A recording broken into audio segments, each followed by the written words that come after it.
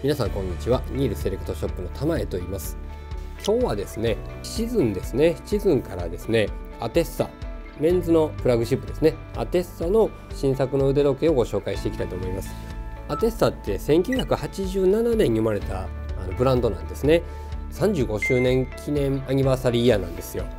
でシズンさんもこのアテッサ35周年に向けてさまざまなね限定モデルとかたくさん出してきてるんですけれどもそもそもアテッサってチタンとねチタニウムと共に歩んできた腕時計なんです。スーパーチタニウムという素材を加工したりとかもっともっとこう強くしたりとかっていう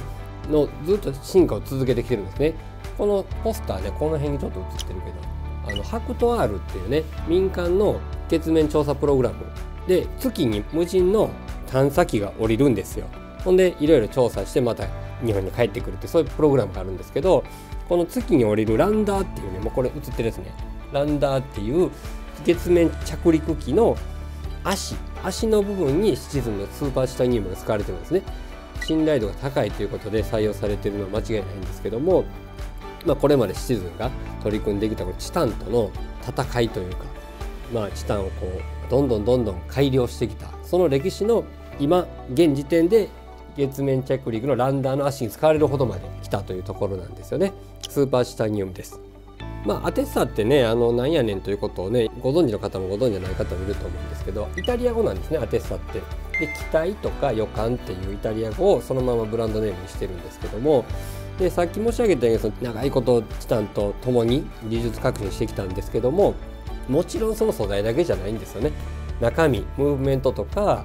機能面でもあの世界初とか世界一とかいっぱいこう取りながら進化してきたんですよ。まあ、いっちゃん最初なんや言うたらシズンってもともとそのまずシズン全体として当てただけじゃなくてねシズン全体としてずっと取り組んできてどんどんどんどん技術革新してることの一つとしてエコドライブがあるんですよ。だから光発電ね定期的な電池交換いらなくなるっていうのとやっぱりその電池を破棄するっていうことで環境問題になるからソーラー発電まあシズンでいうエコドライブこれずっとずっと続けてますよね。もう一つ特徴的なのが電波時計ね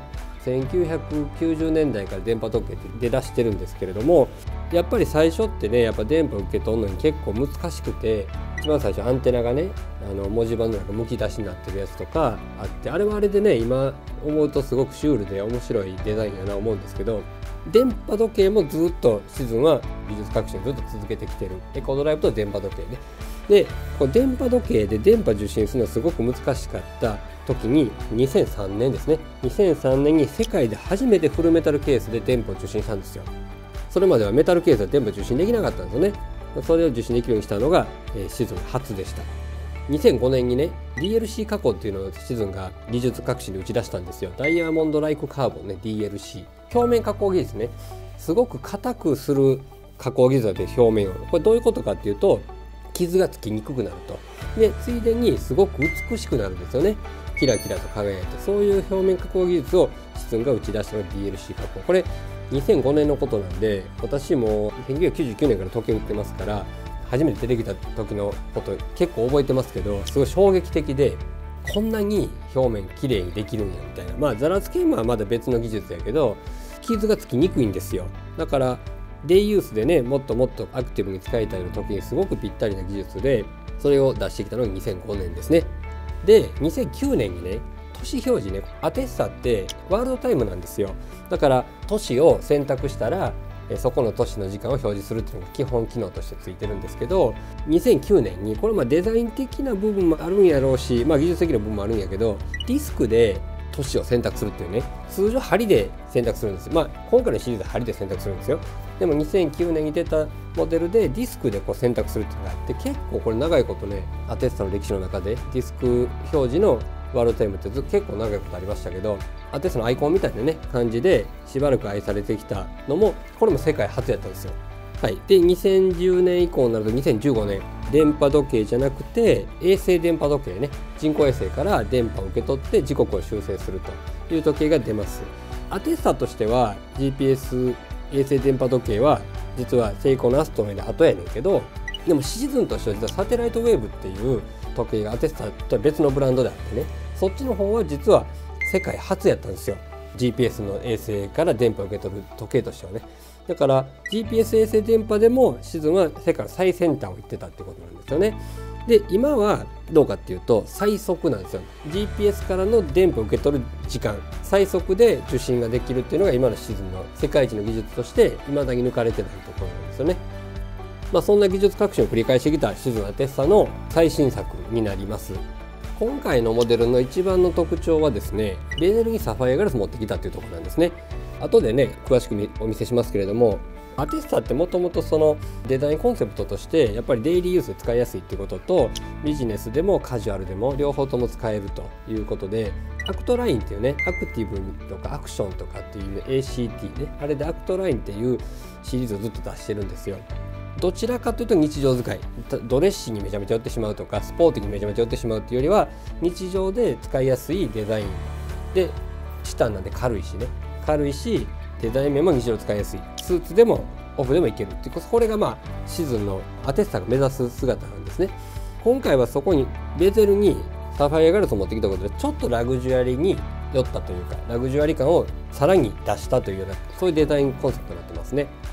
そもそもアテッサが持ってる機能としての、えー、こっちは GPS 衛星電波ね。それからこっちはまあ通常の地上波の電波やけどもの受信はもちろんできるしさっき申し上げたんですワールドタイム機能のもとについてるんで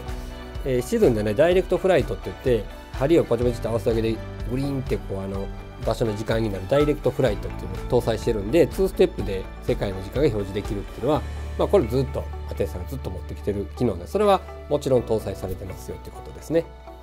では今回そのサファイアベズルを搭載したというねこだわりのデザインについて一緒に見ていきたいと思います。はい、ではですね詳細を一緒に見ていきたいと思うんですけれどもまずこのフラグシップのモデルですね。GPS 衛星電波時計になります。こちら品番がですね CC4055 の 65E になります。お値段の方がメーカー希望小売価格が28万6000円。税込みのところニール特別プライスで22万8800円ですね。まあ、GPS 搭載モデルはね結構お値段張ってくるんですけどもその中でも20万ちょっとということでかなりお値打ち価格になってるんじゃないかなと思います。一番の特徴ですね先ほど申し上げましたけどもこのベゼルのね部分の上にサファイガラスをねつけてるんですね。光り方が全然違う。分かりますかね？輝き方がガラスが入ってるんでこの風防もサファイガラスなんですけどこの風防と同じような輝き方しますよねこういう光入った時に。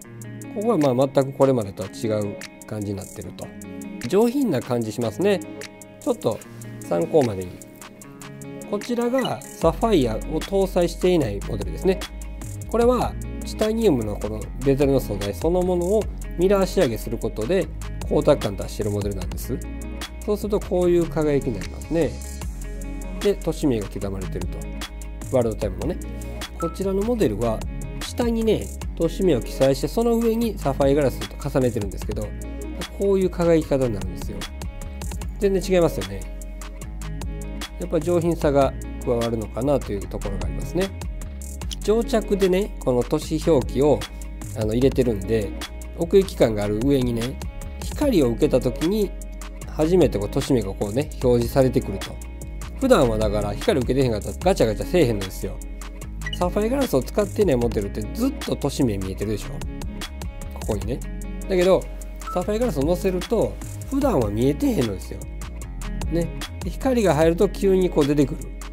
これがすごく上品でおしゃれやなという感じですね。あとはねこの風防がサファイガラスでこの風防とベゼルが一体になるっていうイメージですね。辛い位置で存在してるんでここが一体感が出ると。でこのフェイスとしての存在感がぐっと増す感じがありますよね。クラリティコーティングねされてるのでちょっとね縁のところ光が入ると青く光るんですよ。クラリティコーティングって無反射コーティングなんですけどすごく優れてて風防のガラスないみたいでしょもはや。あれ？ガラスあんのか？みたいなね反射をなくすことでここまでガラスが見えなくなっちゃうんですね。これもシズンさんの技術です。こちらのオールブラックモデルはですねあえて差し色何も使わずにモノトーンに仕上げてるってところがシックでおしゃれなところなんですね。黒もねいろんなブラックを使い分けてるんですよ。ちょっと濃いグレーとかこのインダイルの縁なんか完全にブラック使ってますしまあ、この辺ねいわゆる DLC のねダイヤモンドライクカーボンのブラックなんですけどもこういう、まあ、光沢のある黒と文字盤の中のこのマットな黒とこれ縦ストライプちょっと入ってますけどもこういったいろんな黒を組み合わせることでモノトーンやけどもしっかりとこう高級感があってまとまったデザインになるんですね。ハンドもあえてね黒塗りしてるんですよ。シルバーではなく黒塗りした中にホワイトを入れるということですごくシャープな印象になりますねこのハンドが。視認性も高くなると。この白がシャープに際立つんでね。すごくこだわり抜かれた文字盤デザインになってるなと感じますね。あとはこのチタンのねあの加工の造形美ですよね。チタンでね硬いからだからま傷もつきにくくて、まあ、あとは金属アレルギーを起こしにくい素材っていうのもまああるんですけどこう硬いんで加工が難しいんですよなんせ。何するにも手間がかかる素材なんでね。それをここまで綺麗に作るってなかなかすごく技術の賜物やなというふうに思いますね。この光り方もすごく綺麗ですね。ほんと上品な腕時計になってるなというふうに思います。ダイレクトフライトなんで流図をね引き抜いてこの秒針をね都市名に合わせるとその都市の時間がすぐに表示されます。61のインダイヤルはこれもう一つの文字盤になってるんで2カ国の時間の表示をできますと。だから海外に行った時にメインのダイヤルでは海外の時間を表示しておいてこのインダイヤルに日本の時間を表示すると。いうふうにすると2カ国の時間同時に分かるってことですね。あとまあストップウォッチとかアラームとかタイマーとかのモードがここにありまして9時位置はこれ曜日の表示になってます。デートはここに4時位置にあるのでまあ高機能でいて高級感があっておしゃれな腕時計になってますね。はい装着するとこんな感じですね。ケースサイズが 44.6mm 厚みが 15.4mm まあ GPS ソーラーでちょっと厚いんですよ。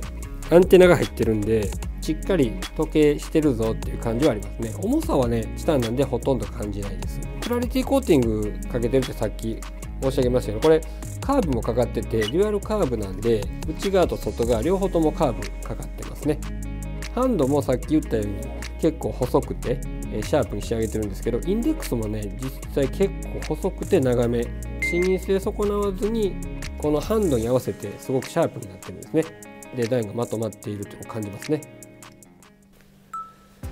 はい続きましてこちらブルーのモデルですね。でウレタンバンドなんですよ。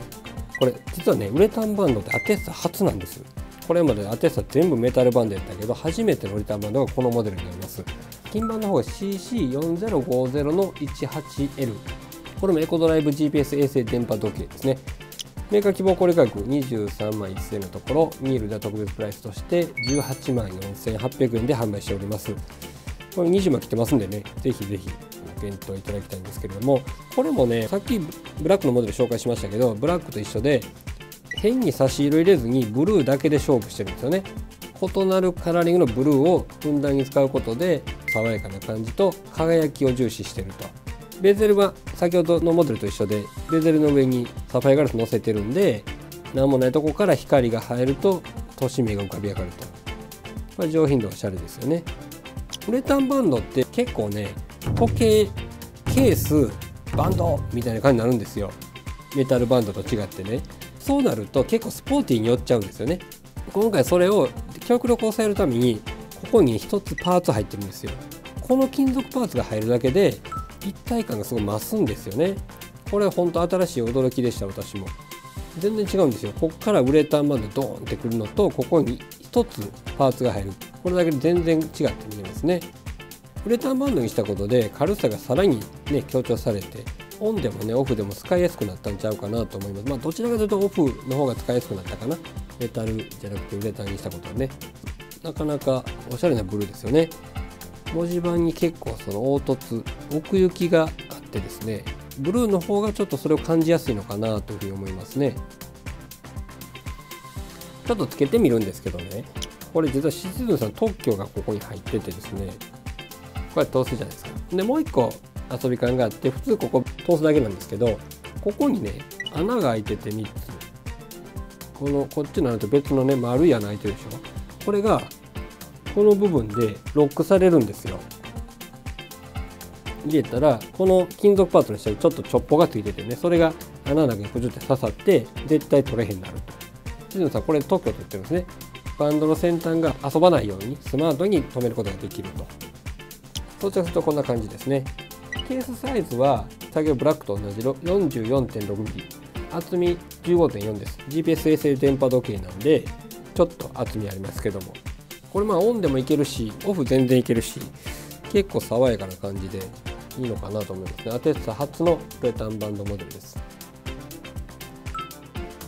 ブラックとねブルーの比較としてちょっと一緒にお見せしてみましょうかね。やっぱウレタンバンドなんで若干スポーティーでアクティブなブルーに対してモノトーンでね落ち着いたブラックカラーって感じですね。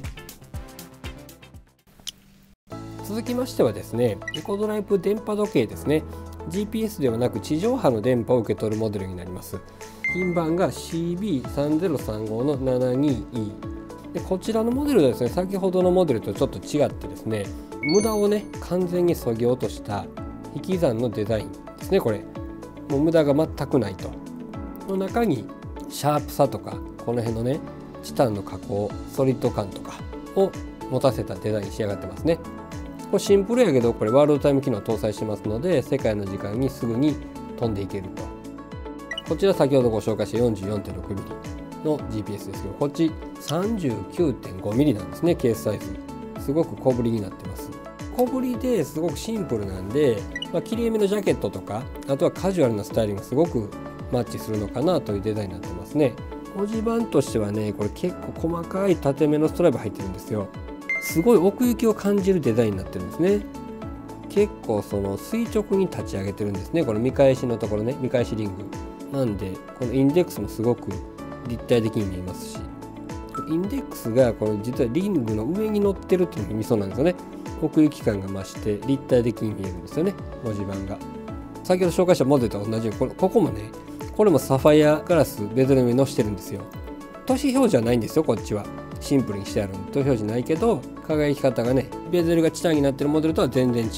ちょっとラグジュアリーで上品な感じの輝き方しますね。はいつけるとこんな感じですね。今めちゃめちゃ流行ってるサイズ感なんです。39mm40mm って。だからこれすごくつけやすいですよね。39.5mm のケースに 9.7mm です厚みが。なんでさっきの GPS 衛星電波時に比べるとすごく日常使いしやすいモデルになってますねこれは。シンプルやけどワールドタイムついてる。これがいいですよね。全部スーパーシタイングです。ウラテクト DLC のブラックですね。オールブラック。お値段の方がメーカー希望これ額15万4000円のところがなんとニールでは10万7800円で売ってるんですね。これちょっと安すぎるんちゃうかという話ですけども。お求めやすくお値段設定してますのでぜひぜひご検討ください。続きましては色違いのねシルバーのモデルになりますね。CB3030 の 76E お値段がメーカー希望小売額12万1000円のところニールではなんとこれも安いな。8万4700円10万円切ってますね。でコドライブ電波時計になります。ブラックのモデルと一緒でこのベゼルのところにサファイアガラス入れてます。風防はねクラリティコーティングされてるんでガラス入ってますかみたいな感じですよね。ガラスありましたかみたいな。インデックスがねこちらはシルバーになってるんでより一層こう立体感がね増すかなと思いますね。ケースとバンドはデュラテクトチタンカーバイトっていうね加工を施されてるんでめちゃくちゃ硬くて傷がつきにくい。でこの仕上げの輝きすごないですか？